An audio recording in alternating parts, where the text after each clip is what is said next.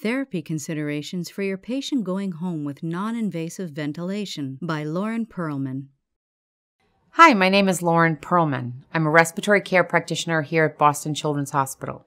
I will be discussing non invasive ventilation, including BiPAP and CPAP. More specifically, considerations for your patient using these therapies in the hospital and transitioning to home. I have no financial disclosures. There are several considerations when choosing the appropriate device for use in the home, including the patient's age and weight, the patient's developmental age. Can your patient remove their interface? Can your patient sustain normal breathing without support in the event of a power failure at home? Does your patient's device require a power failure alarm and backup battery power? Does the backup battery power need to be integrated into the device? Does your patient require their support during the day? How significant is their level of support and, more importantly, their oxygen requirement?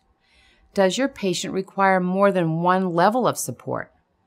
Do you anticipate the placement of a tracheostomy tube in the near future?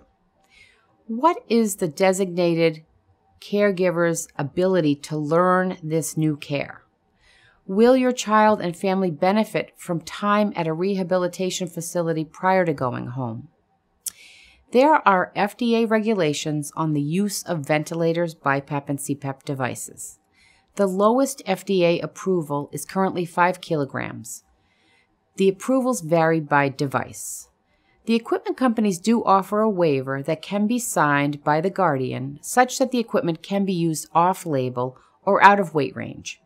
The equipment companies may consider patients for discharge under 5 kilograms if there are specific considerations such as hospice care.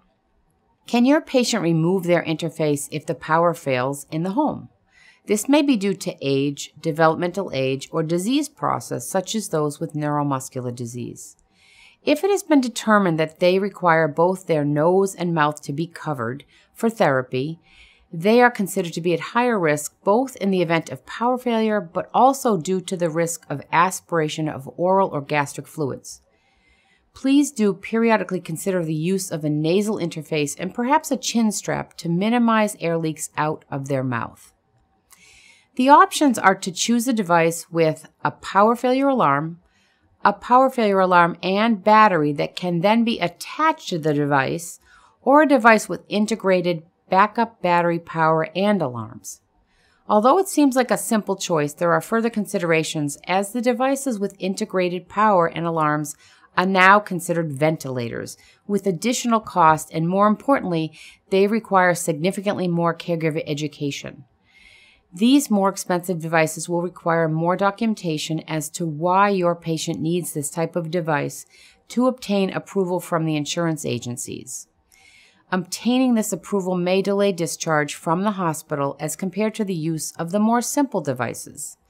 If your patient can be without support overnight in the event of a power failure in the home and they have a nasal interface, you may choose a simple device without specific alarms or battery backup for ease of use.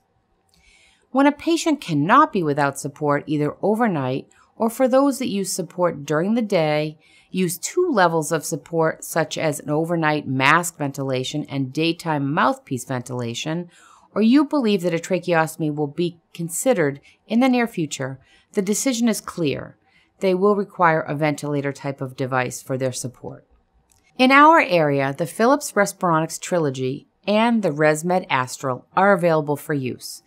These ventilators offer the choice of a passive circuit such as utilized with BiPAP technology, in which one hose is attached to the patient interface and exhalation takes place in the mask through specific venting holes, and they also offer an active or a dual limb ventilator configuration as we are familiar with on our ICU ventilators, the CareFusion LTV and the Newport series of ventilators. The most important consideration when deciding about these options is your patient's oxygen requirement. It's difficult to provide more than about 40% oxygen when using the high flow BiPAP passive circuitry in the home setting. The passive circuitry flow of air significantly dilutes the liters of oxygen that are added to the circuit to meet your patient's needs. The passive circuit with high flow rate is specifically designed to compensate for air leaks as it was created and designed for patients with facial interfaces and not tracheostomy tubes.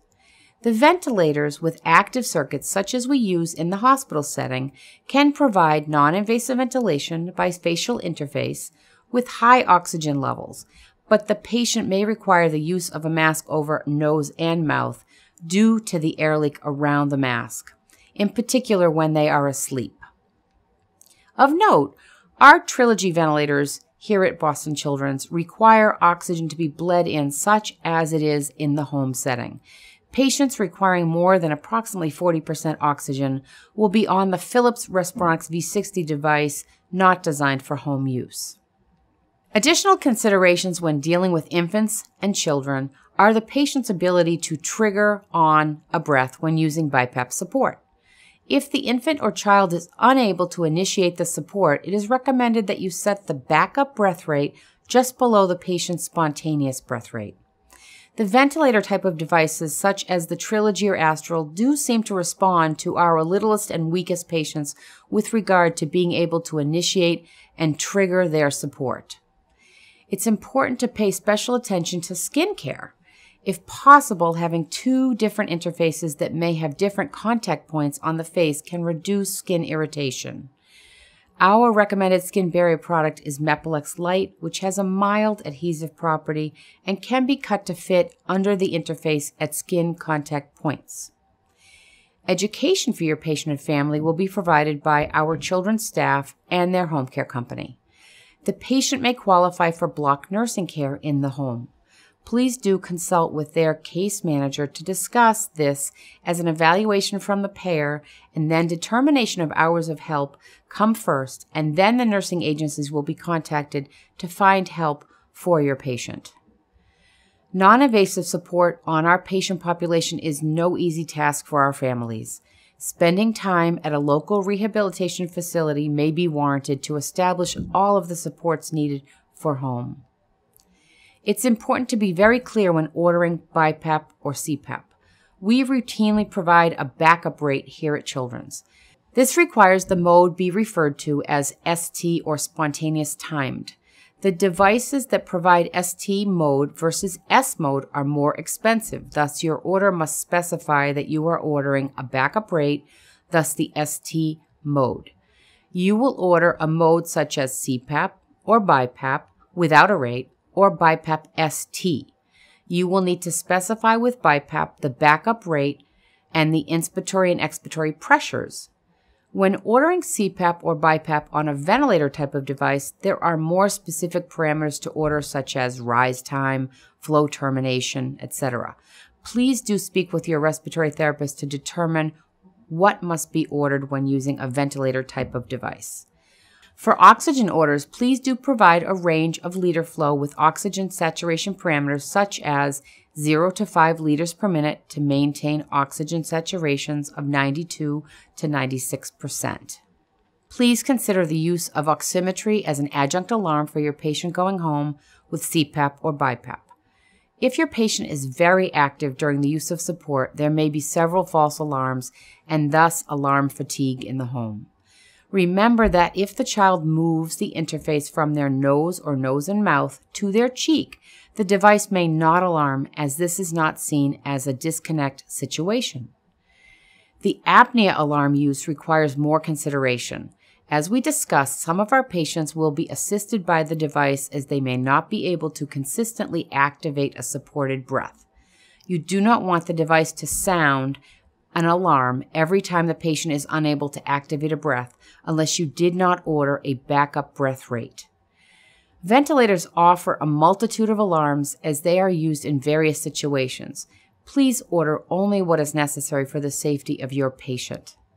Thank you very much for watching this video. Please help us improve the content by providing us with some feedback.